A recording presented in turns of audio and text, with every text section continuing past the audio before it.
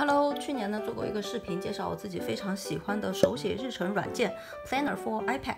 呃，这款软件最大的好处呢是除了可以免费使用大部分功能之外呢，可以看到页面非常的简单，伸出手指呢就可以完成日计划、月计划、年计划之间的跳转。它也自带了很多可爱的印章、贴纸。等等装饰工具啊，另外最特别的呢，应该就是这一个桌面组件的功能了。可以在 APP 里面的任意一个页面添加一个便签档案之后呢，点上星号，这样它就会在桌面组件的地方看到这一个贴纸了。更神奇的地方呢，是你点击这一个桌面组件的贴纸部分，它就会跳转到相应的所在的页面，非常的方便。基本上呢，是我理想当中的电子手账了。最大的 bug 呢，应该就是在国区没有上架。大家呢要下载的话呢，需要先弄一个其他。地区的账号，关于日本账号的注册方法呢，大家可以看一下新西兰，按照新西兰里面的方法自己动手注册一个。呃我建议呢是不要在淘宝上花几块钱购买，因为这种账号呢非常的容易被封号。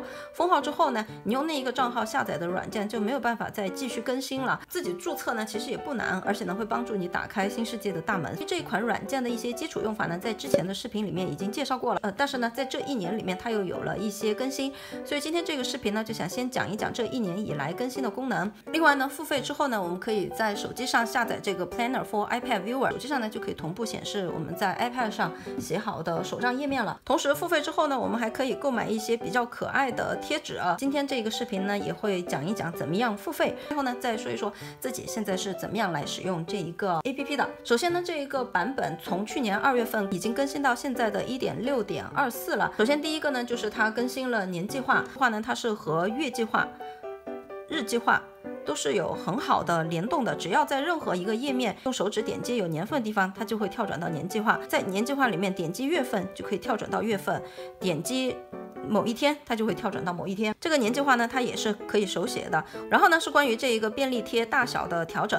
之前呢，如果我们在这个便利贴上写上了字，如果你调整大小，这个字是不会随着便利贴同时变化的。现在呢，这个功能已经添加上了。便利贴上的字呢，我们长按之后呢，它也有复制和剪切这两个功能。第三点呢，是下面这个工具栏，它补充了一些功能。首先是这个工具栏，我们可以把它拖到上面去，两边呢暂时还是不可以，比较习惯让它在下面。笔的工具呢，多了一个。直线的功能，荧光笔也是一样的，荧光笔也可以现在直接画直线了。画呢比较适合在月计划这个地方哦，我觉得做一下标记都还挺方便的。呃，然后橡皮擦的这一个功能呢，增加了自动选择解除，你点击了之后呢，橡皮擦在擦过了之后，它就会自动。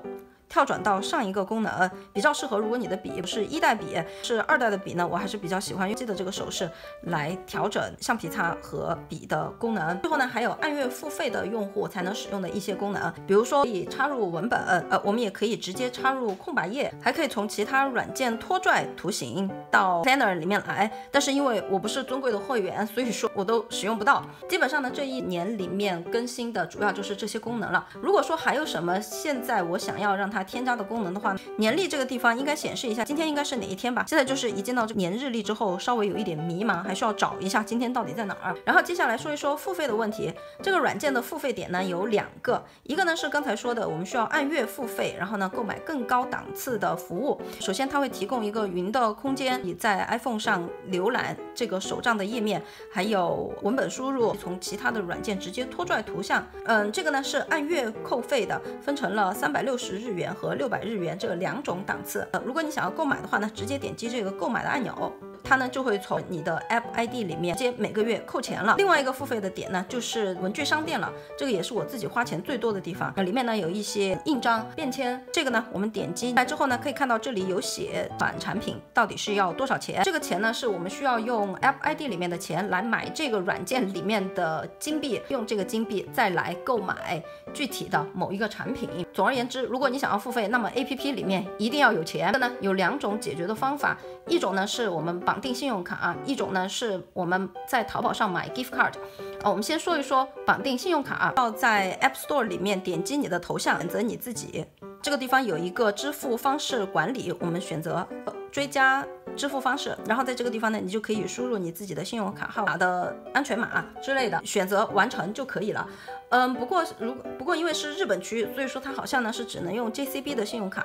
这个方法呢，我自己是没有试过的。但是之前的视频下面的评论里面有朋友说，用绑定 JCB 的卡是可以付费，完全没有问题的。我自己用的比较多的呢是购买 gift card 来充值，在淘宝里面搜索你注册的那个账号地区的名字，然后搜索 iTunes 礼品卡，选一个付款的人数比较多，而且价钱比较正常的来购买。购买之后呢，他会给你一个充值码。拿到充值码了之后呢，我们选择第一个使用这个充值码，选择输入充值码，选择使用。我现在这个账号里面呢还剩一百六十块钱，我充过很多次了，暂时还没有遇到封号的问题，但是也不排除会有这样的风险，所以说大家自己谨慎选择，建议大家一次就少充一点，比如说充个一两千日元的。有了钱之后，回到 Planner 里面去点击这个锯齿，点击商店，然后这里呢就会有一个。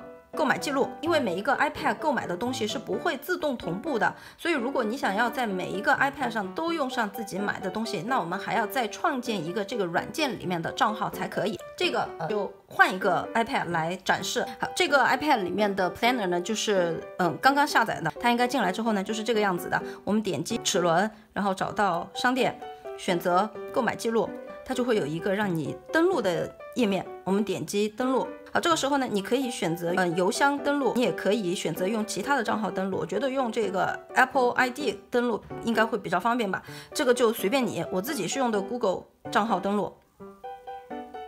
都登录好了，是我现在在这一个软件里面还有多少金币？你点击右边的这个充值，呃，根据价位来充值了。充值好了之后，比如说我现在还有七百五十个金币，那我就可以在商店里面选择自己想要的，比如说贴纸也好，还是这个便签也好，我们直接点击，然后选择购买就可以了。哦，我自己最近呢就买了几个还挺可爱的，一个呢是这一个猫猫的，然后把它放在小组件这个地方，我觉得非常的可爱美丽。最后说一下自己现在是怎么样使用这款软件，用了两年下来呢，我觉得这款软件最大的优点呢就是可以很快的手写记录，呃，一些比较短的东西手写肯定是比打字要快的。比如说领导突然走到你面前跟你说一点钟要开会，呃，两点钟要看场地，三点钟要交报告，你总不能跟领导说等一等让我打字吧？如果用这个软件呢，我们就可以很快。的把这一个事情先记几个要点，记一个草稿一样的东西。突然来了几个安排，那我会先打开这一个软件，马上写好下来了之后，再慢慢的用日程管理软件设置一个闹钟提醒。另外呢，因为这款软件是有时间轴的，而且呢它的时间是会自动显示一条线在这个地方的，所以说呢我也是直接用它来记录每天的时间安排。呃，每做完一件事情呢，我可能就会大概写一下自己是哪一个时间点到哪一个时间点做了这件事情，晚上或者是第二天呢就可以很明。确看到